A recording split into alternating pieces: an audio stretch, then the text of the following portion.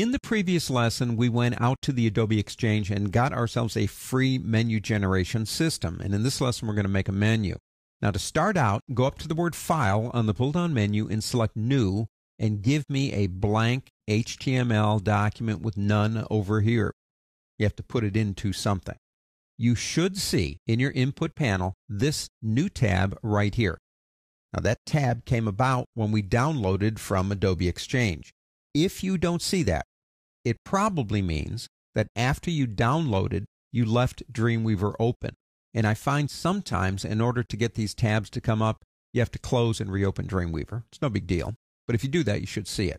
Now, there's only one thing in it, and that's our Advanced CSS drop down menu light.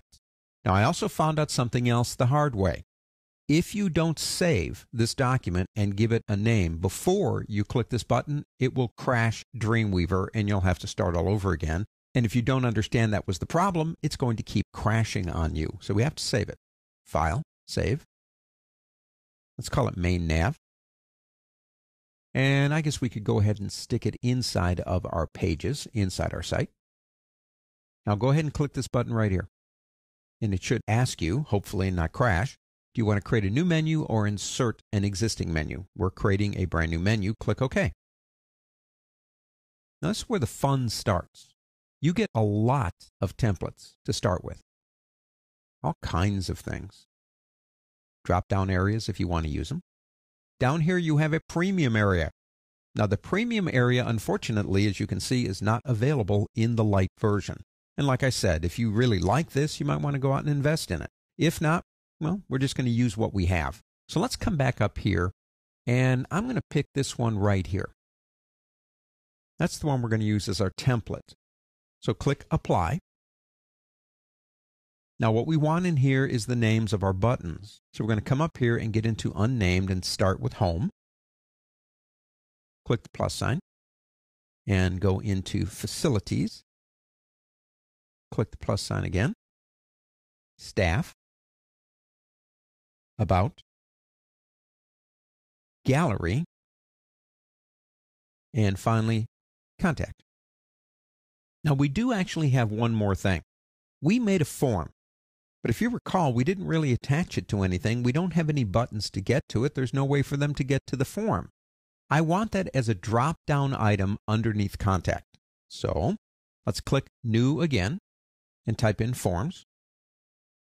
Now, see this button right here? With Forms selected, click it. That will collapse into a pull down situation, that one right there. Make it perfect. You can do that as many times as you want, as complicated as you want it to be. Let's come up to home. And let's start by giving it a link, obviously. And that would be our index page. Now we can give it a title.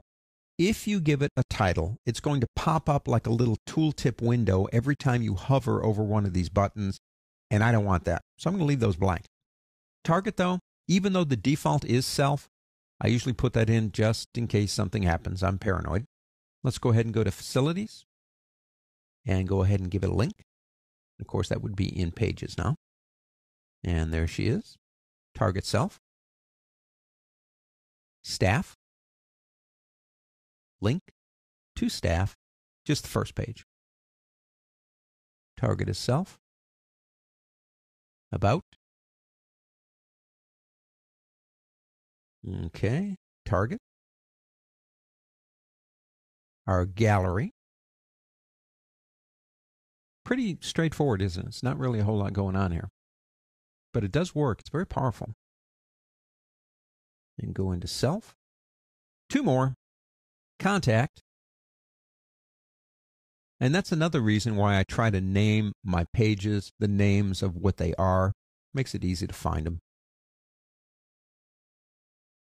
And last one, I don't think I did the target on that one. We'll come back to it. And this one was forms.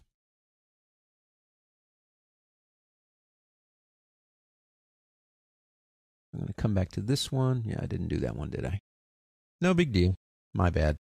Okay, so we've got it all together. Now you have other things that you can do. For example, if you go into Style Editor You'll notice most of the stuff actually is grayed out because it's not available to the light version, so we can't change some of those things.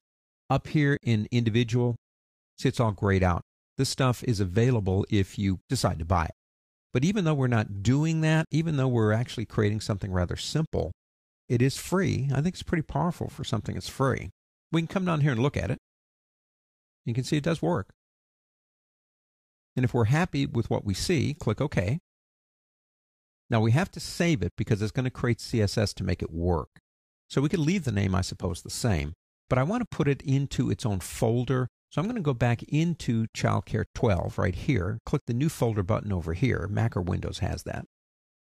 And let's just call this main menu, create, make sure it's selected, which it will be, and then click save. Okay, now it doesn't look all that great right there. You have to go live to see it. Now check this out. It's actually not that bad. Nice little system for free. Now let's go ahead and close this out. Go ahead and save it. So we have a menu system. It is not part of a library item, but we need to bring it into our templates so everything will work that way. And that's what we're going to do in the next lesson.